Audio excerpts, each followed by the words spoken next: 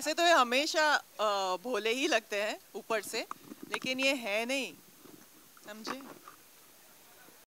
After Drishyam and Drishyam 2, Tabu is all set to share screen space once again with Ajay Devgan. At the event, Tabu was asked when does she find Ajay Bhola?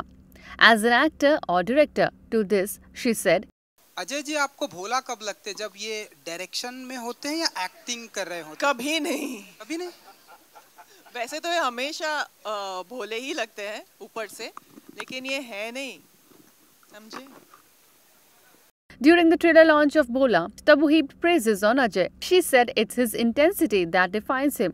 के लिए मुझे नहीं लगता कि कोई और actor इतना fit होता जितना ये फिट होते हैं और आई थिंक इनका जो एक सारा इमेज और इनकी जगह है वो ख़ास तौर पे डिफाइन होती है इंटेंसिटी से अ, इसका ये मतलब नहीं कि ये दूसरी कैरेक्टर्स को उतना सूट नहीं करते लेकिन जैसे ये हैं जैसे ये रियल लाइफ में भी है तो उन्होंने कैरेक्टर्स भी ऐसे चुने हैं और वो उनकी बहुत स्ट्रॉन्ग पहचान है और बन गई है ये इतना मैं कह सकती हूँ The film stars Tabu as the female protagonist and is all set to hit the silver screen on March 30, 2023. INS report.